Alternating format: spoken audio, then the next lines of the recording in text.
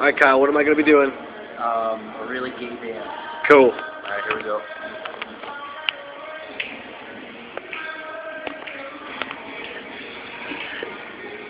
we go.